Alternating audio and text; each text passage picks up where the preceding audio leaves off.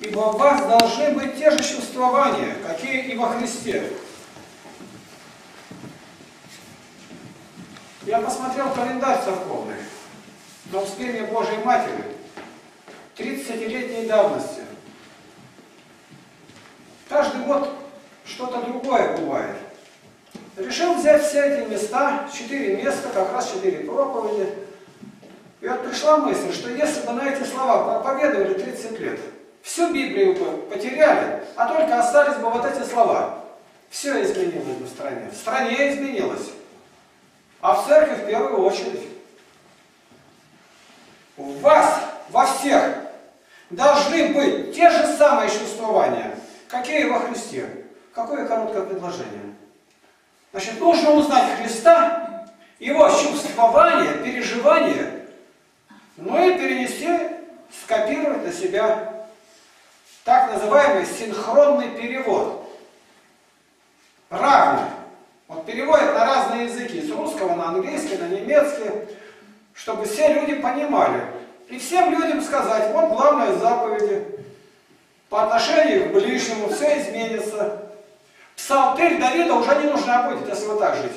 Он говорит о обещании врагам, как они меня поносят, кто будет поносить, если у всех чувствование, так как во Христе Иисусе.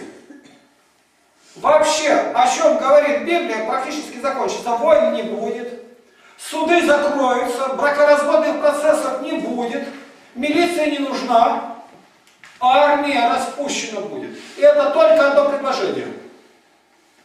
Вот сейчас, прямо, в присутствии президента, патриарх сказал, ну давайте вот одно предложение только выполним.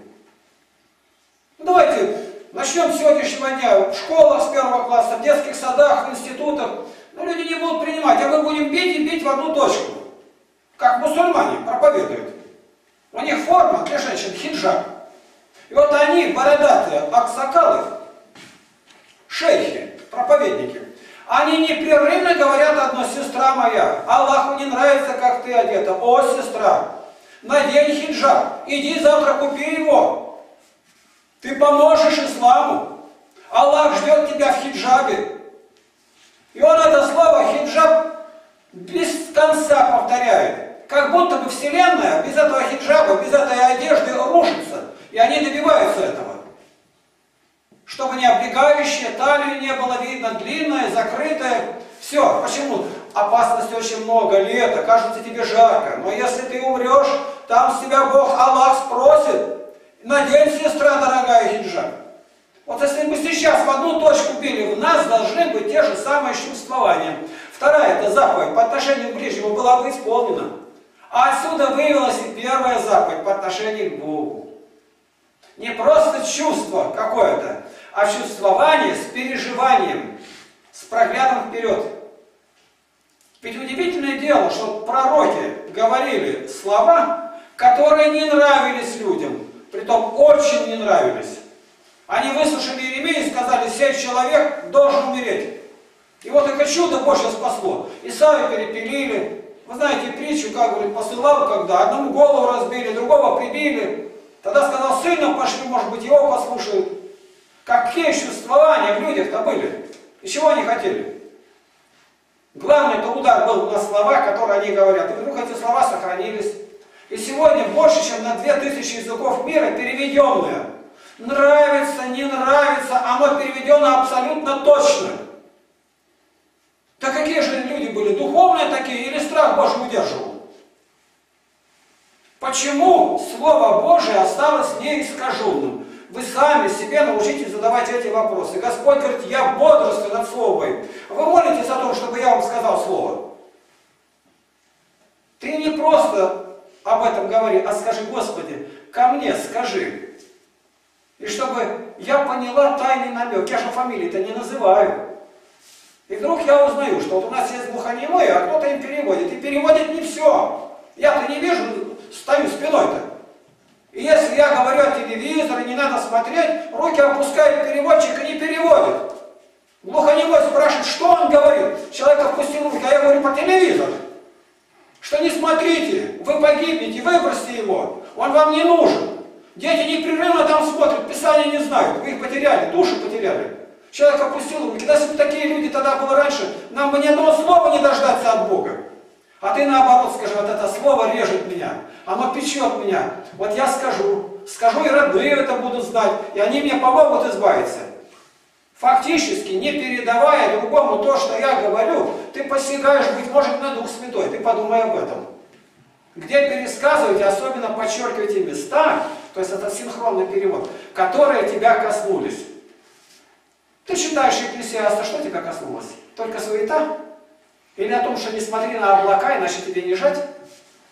Какой-то есть золотой стих, который тебя касается. Вот потому и золотой, что внутренность мою прогнившую делает здоровее, воскрешает меня. Во Христе чувствования такие, что Слово в Духе Святом сказанное не возвращается тщетным. Оно выполнит, что должно. Я не поверил этому. Спрашиваю другого, и другой говорит, да, так, не переводит ваши слова, когда я говорю в телевизоре. Я тогда пошел к третьему, третий говорит, да, я говорю, вижу, это человек не переводит. Это что, нормальное состояние? Доказательство того, что человек абсолютно не духовный, бесстрашный. Какое ты имеешь право другому не дать? Ну ты не принимай, ну ты другому передай. Иначе у тебя Библия одни корочки останутся. Я же тебе показываю Слово Божие. За каждую минуту будем отвечать. Кому передаете хоть что-то? Вы мои книги, которые читаете, вы нашли где-нибудь я себе подыгрываю? Самые скверные, поганые показания на меня, какие давали священники, я их напечатал, какой я плохой. И мне это говорят, а зачем это? А затем, чтобы ты сам разобрался и увидел. Мне не надо, чтобы мне хорошо говорили. Сколь бы плохо не сказали, я знаю, что еще хуже. Когда на суд-то Божий представим, как Бог будет нас судить-то? По слову своему. Первом послании Коринфянам 10.33 читаем. «Поясни, Господи, нам, мы хотим узнать, как это применить в жизни, чтобы в нас были чувствования, как во Христе Иисусе. Вот так хочется же выполнить. И смертный час сказать «иду». Во мне уже все сроднилось с Господом. Я только хочу соединиться с тобой. Можем ли мы это сказать Ему? Так как и я угождаю всем во всем, ища не своей пользы, но пользы многих, чтобы они спаслись. Какой же я буду проповедник, если не буду говорить то, что мне на сердце положено? Если я знаю, что от этого беда, я прошу выключите телевизор. Тем более во время поста. Они вообще не нужны. Люди везде ропщут, какая трава идет в эфире, а я никогда не ропщу, у меня его нету. Она мимо проходит над крышей моей. Если я не смотрю, как она ко мне попадет-то? Ты кого к себе в комнату запускаешь? Кого-то детей даешь, с плохими людьми нельзя знакомиться, а смотришь-то что? Вырежь это все. 1 Коринфянам 11.1. Будьте подражателями мне, как я Христу. Вы в жизни встречали людей, которые так сказали бы при жизни. Подражайте мне, как я Христу. Я имел счастье встречать таких людей. Отец многолюдному своему семейству говорит, дети, до моего уровня достигнет, но потом уже дальше уже выше будете. Почему? Он молитвенник. Он строгий молитвенник, посты все соблюдает, свидетельствует другим, работник, десятеро ребятишек, десятеро своих собственных детей. И он им этот наказ давал. Ни один его путем не пошел. Дети совсем не похожи на него, но он говорил это. Он звал. Удачно или неудачно. 1 Иоанна 2.6. Кто говорит, что пребывает в нем, тот должен поступать так, как он поступал. Вот тогда будут те же чувствования. А чтобы знать, как он поступал, Иисус, надо считать Писание. И все время применять к себе. А вот я бы был там, смог бы я так сделать? И оставить сети, сети это все, ну это я не мог. А вот дальше. И он говорит, потушите гнев свой. Так, и апостол Павел говорит, гнев человека не творит правды. Как же ты гневаешься день за днем? Напоминаешь старое. У нас должны быть те же чувствования, какие во Христе Иисусе. Вот какой у нас образец. Что-то делать не знаешь как. Один вопрос так. Здесь Господь. А как бы Он поступил? А как Он поступил? Он поступит так, как поступал, Он по-другому не поступит. Он переходил с места на место, свидетельствовал, буря его не удержала. Он шел по морю. Он шел туда, где беда, где его ждут. Там хорошо. Едва не началось строительство трех пущи, а он знает, там люди больные ждут. И он к ним спускается. 1 Петра 2,21. «Ибо вы к тому призваны, потому что и Христос пострадал за нас, оставив нам пример, дабы мы шли по следам Его». Люди ставят кресты на кладбище, одни кресты.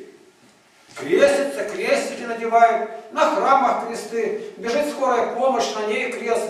Я не знаю, если сейчас на автоаптечке есть или нет, но раньше крестик стоял, медицинская помощь. А это напоминание о страдании Христа. Как Он пострадал, так и мы должны приготовиться. Каждый крестик на стене, где ты увидишь, Он говорит, приготовься страдать. Приготовься. Мужественно все переноси. Как и Он пострадал, оставив пример. Вот за ним мы уже нашли, как идти. Уже указано в страданиях, как Господь. А в народе это выковалось в одну фразу. Бог терпел и нам велел. Видите, как просто. Люди Писания это не знали, а вывели это правильно. 1 Петра 4.1. Итак, как Христос пострадал за нас плотью, то и вы вооружитесь той же мыслью, ибо страдающий плотью перестает грешить. Вывод. Страдание нам полезно.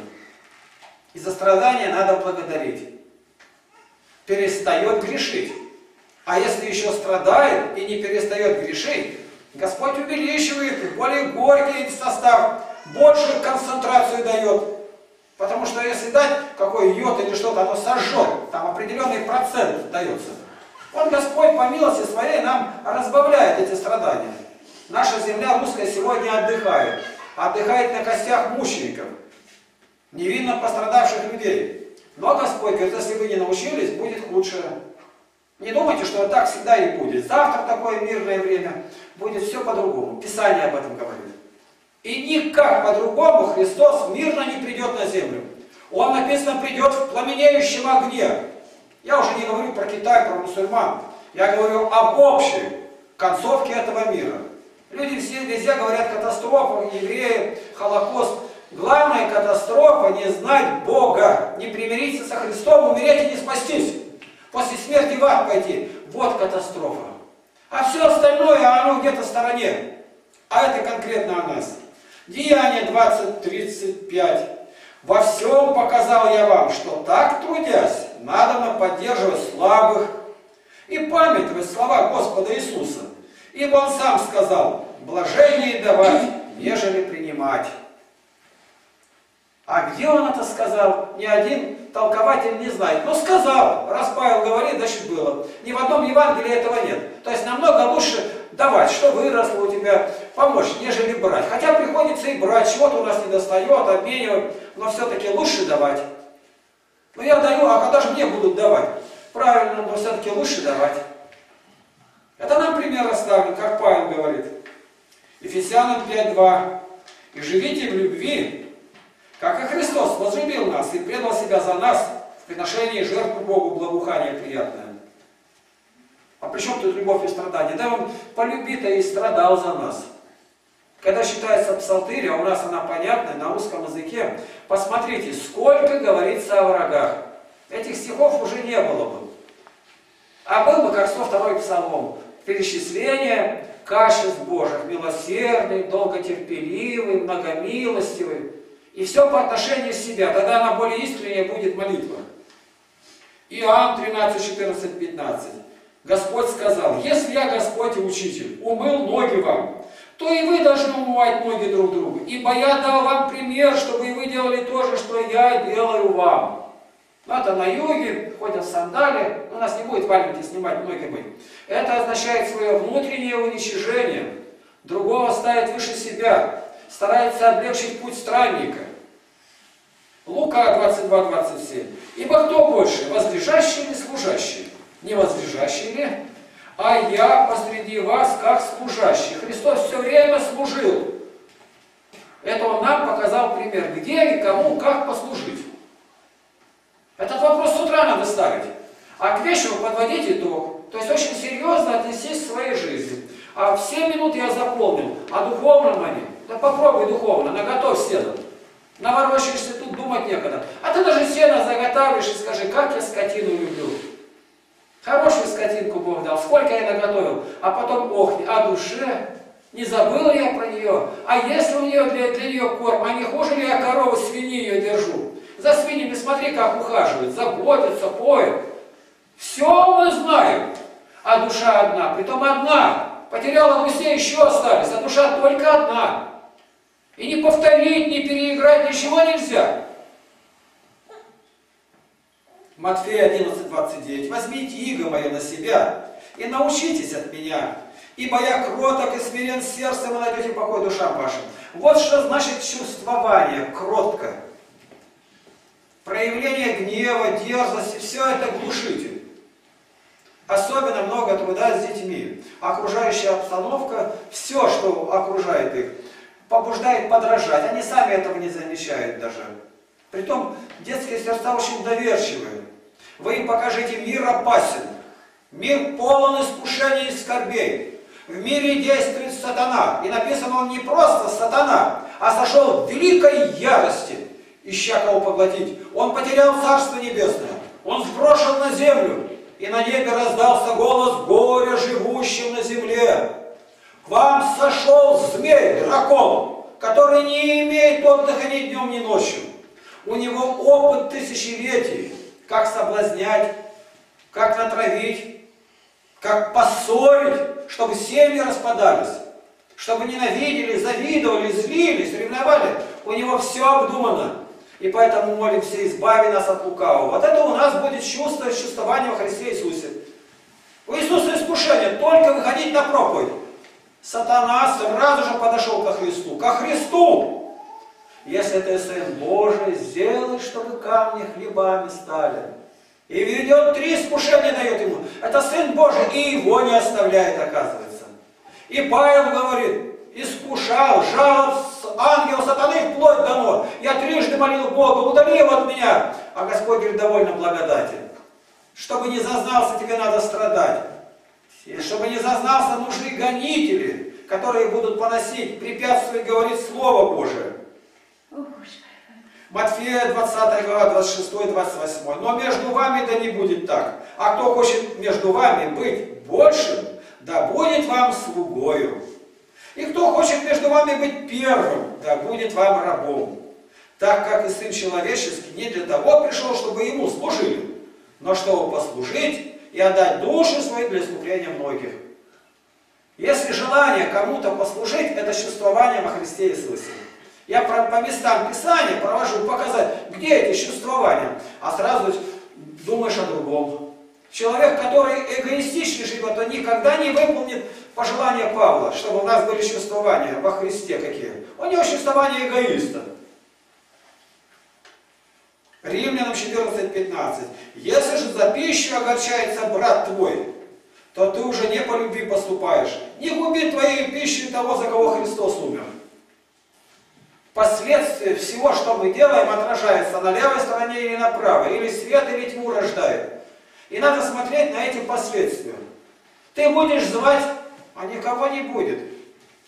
Вот мы только что приехали из села, разъехались в разные концы, звали, четверо в одном направлении, я пошел ковылять по другой улице. Кого звал, пришло четыре человека. А братья и сестра ходили в другом месте четвером, ни один не пришел. Я гляжу, они опечалились. Мы четверо ходили, ни одного не могли уговорить. Я говорю, награда ваша больше. Я имею утешение, что они пришли. Ваш труд перед Богом, конечно, по-человечески, понятно. Но не пришли ни один, ни один. Вы звали, вы старались. Вы драгоценное время теряли. Могли бы со своей семьей побыть. Вы это для Господа делали. Награда при вас будет. Потому что хорошо, что хоть голову не проломили вам. Вы пришли живые, а написано, говорит, слугам, да и голову проломили. А одного убили. Так что нам еще есть за что Бога благодарить. От нас это не зависит. Вы благодать призывающую показали людям, а благодать обращающую не сработала, от вас это не зависело нисколько. Бог может сделать для того, чтобы вы не надмевались. Может для того, чтобы усилили, может какие-то недостатки всего увидели. Работы очень много здесь. От нас это не зависит. Я могу рассыпаться такими тирадами, читать Библию наизусть, и никто не придет и не послушает. И будешь хватать всех за руку и не утянешь. Римлянам 15.3. Ибо и Христос не себе угождал. Но, как написано, злословие злословящих тебя пали на меня. Когда нас злословят за имя Христова, то мы блаженны. И чтобы не желали отомстить врагам. Вот это чувствование в нас будет во Христе Иисусе. Так они же враги. Молись за них. Господь ни одного сражения с оружием в руках не прошел. Где-то примерно 76 битв провел Мухаммад, это Магомед. И только одна битва была оборонительной, все остальные наступательные. Христос только один раз в храме взял бич и выгнал продающих и покупающих. Только за храмом позаботился. А остальное больше нигде мы не видим, что он призывал Отца Небесного, отомсти им. Они несправедливо меня распяли. Ведь мы вступили на такой путь, которым никто никогда не ходил до христиан. Молиться за врагов. Это действительно сверхчеловеческое учение. К Римлянам 15.5. Бог же терпение и утешение да дарует вам быть в единомыслии между собой по учению Христа Иисуса. Вот тогда у нас будет существование во Христе Иисусе. Мы ведь расходимся-то там, где не одинаково учение Христа, а бывает его и совсем где-то нет. Но если по учению Иисуса Христа мы обязательно будем одинаково понимать. Вот найдите что-нибудь, что нас сегодня разделяет. Нас все объединяет. Я не знаю, вы просто поищите, что нас разделяет.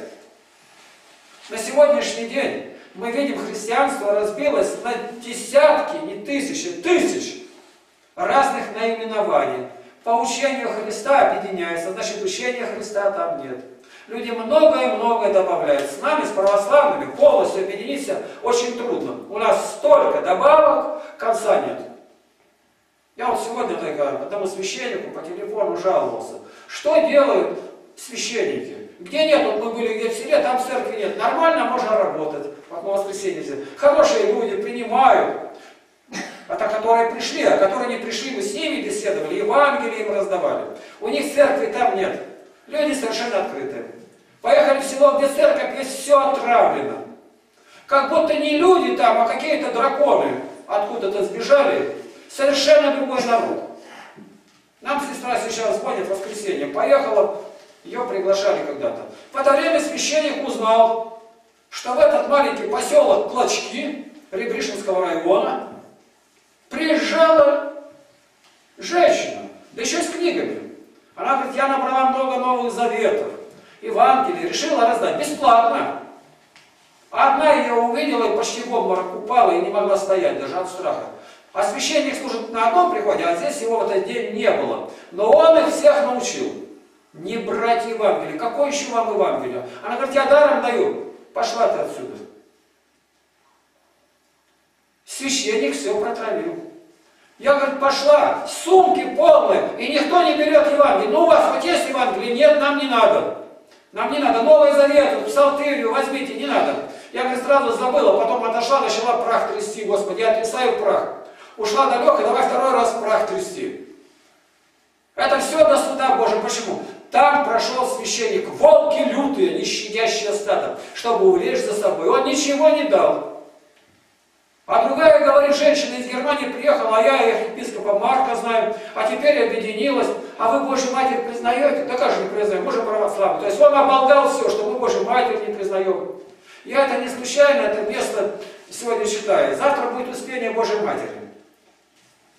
На успение Божьей Матери, прямо сказать, из Библии ничего нельзя. Об этом нигде не написано. Но от ее успения смерти мы переходим на свое. Чтобы приготовиться к смерти, мы должны при жизни жить так, как жил Христос. И наше, наше успение будет называться погибелью. У нас тоже сон. Успение – это сон. Друг наш Лазарь уснул. И не случайно это место, видимо, так кому-то было показано, отнести надо было к успению Божьей Матери. А мы применим к своей смерти. Господи, помоги нам в жизни сей преобразиться в образ Христов, чтобы в нас были чувствования, как в Тебе, наш Господь, всегда и во всем. Аминь.